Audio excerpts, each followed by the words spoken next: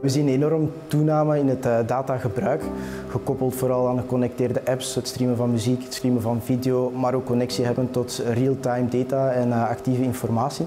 Maar we zien ook dat daar ook wel een enorme vraag is naar veilig die data over te gaan, gaan brengen, met daarnaast natuurlijk een grote toegang en snelheid op gebied van capaciteit.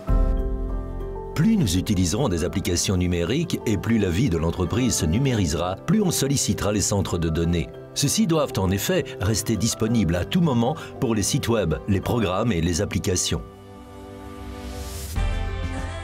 De impact op de bestaande infrastructuur is dat er steeds meer gevraagd wordt aan rekencapaciteit in de bestaande datacenters. Dus we zien een toename, high density wordt het ook wel eens genoemd, verbruik en rekenkracht in de bestaande omgevingen.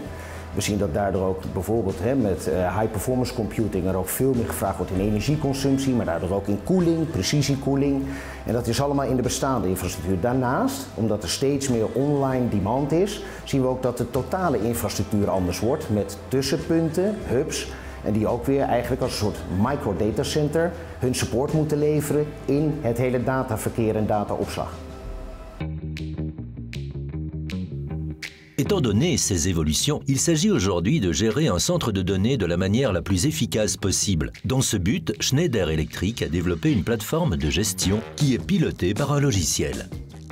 De geeft u de mogelijkheid om een monitoring te doen van uw volledig datacenter en daar efficiënt op te gaan fungeren en volgende stappen te gaan zetten. Het is vooral de bedoeling om daarmee de beschikbaarheid van uw datacenter naar omhoog te gaan brengen en dit zowel op cooling, cybersecurity als energie-efficiëntie.